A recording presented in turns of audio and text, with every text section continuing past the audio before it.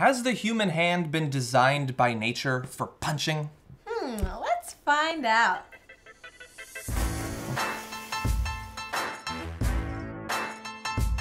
Welcome back to Think Tank, everybody. It's John and Hannah, and we've got one of the most bizarre, macabre scientific experiments that I've read about in our time doing uh, Think Tank. And it has to do with uh, a test to see if the human fist and our ability to make a fist in a way that very few uh, animals can, none, I believe, lacking opposable thumbs in most cases, except for the wily dolphin, uh, if it actually makes us better punchers, which would have given us an advantage in hand-to-hand combat early on. And so what they did was they basically dissected and strung up a bunch of human arms by wires. So Carrier is the main uh, scientist. Him and his colleagues purchased nine male cadaver arms and strung them up by tying fishing line to the tendons and anchoring the lines to guitar tuners so that they could tighten uh, the, the tension of the cords. Oh my god, this is the worst science. That's why they had it to be dead. because they had to like dig in there. Uh, the researchers proceeded to use the dead arms to throw hundreds of punches at people walking by the lab. I'm kidding. Uh, and slaps at a force detecting dumbbell, all the while carefully measuring the power of impact, like in that famous scene from Rocky IV, but with zombies. And so they found that uh, a buttressed fist, now take a look, that's with the thumb folded and locked across the first two fingers, something that other animals can't do with their monkey paws. Uh, but we can do it. It can strike with 55% more force than an unbuttressed fist, right in the butt too, you can punch them really hard, and twice the force of an open-handed slap. Although the slap is far funnier, 55% funnier. Uh, what's more, fists offer greater protection to the delicate bones of the hand and the wrist, which is important because it doesn't matter if you can knock out a jaguar by punching it if you then can never pick up anything again for the rest of your life. Did they try the study then with uh, brass knuckles? That that would have been an advantage, but few cavemen could afford them. Electricity was so expensive But they could then. afford the nine male cadaver arms. Exactly, yeah. You need to have those uh, in case you get hungry. Um, now, they say that this is proof positive that there was sort of an evolutionary benefit to being able to buttress your fist in increasingly complex and secure ways so that you'd be able to strike things, but not everybody's buying it. Uh, one of the criticisms said there are many other behaviors that could be marshaled to explain the morphology of human hand bones.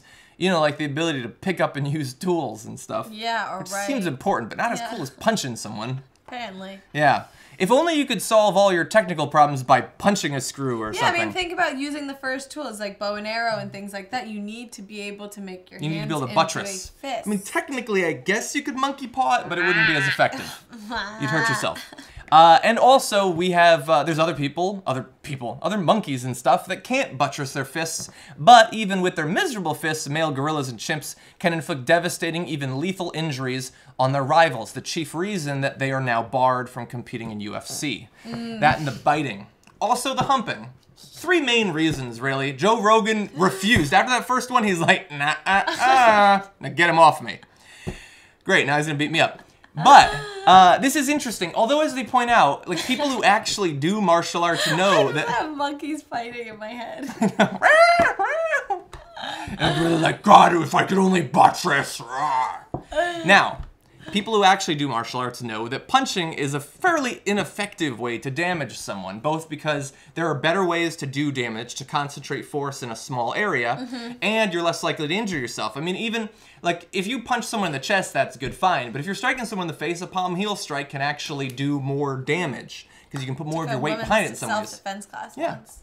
And you'll, you're less likely to hurt your fingers knee- that way. knee, But also, this. one of the reasons that martial arts like Muay Thai use the knees and elbows so much is that an elbow strike can concentrate the force of the body on a very small point, Mm. which is also very sharp. It's like using something like a knife. If you strike someone in the face with that, you have less range, but you do more damage. Better way to hurt people: use the knife.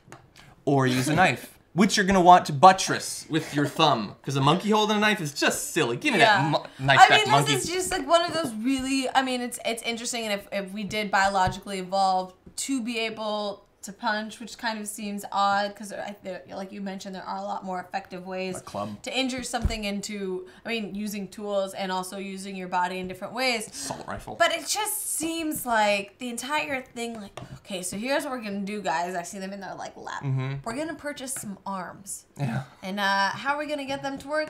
We're gonna use some guitar strings. Like, there's gotta be a better scientific way to figure this out than being like, hey, Jo- Joey, can you just uh, like undo it? Like, I, I too much, too much. Like, you know what I mean? And they just started using the tuner. I'm too. I know that I'm too critical on the morals of scientists, and I assume I assume that they're kind of weird people in some cases. What is why they do what they do. But I just love the idea of like setting it up like. Okay, so we've tied it up, but uh, did you make sure that it can get a really good grip? I want it to have a really good grip. Oh yeah? Okay, now get out. Oh, John. tighten I mean, it, it tighten was it. weird enough. We didn't need to make Ooh. it any weirder. That's at least 55% more force and speed. Anyway, nothing against the scientists. I, I like that they're doing this because it is important to understand how it was that humans were able to gain the advantage over Neanderthals and other sorts of primates and, and things like that and get to where we are now. Uh, but I don't consider this, uh, the fist is not uh, open and then shut on this one just yet, regardless of how tight you get that guitar tuner. Anyway, let us know what you think about this. Uh, what do you think was that gave uh, humans the advantage, perhaps in hand-to-hand combat over their competitors of the time? Let us know down below. I'll see you next video.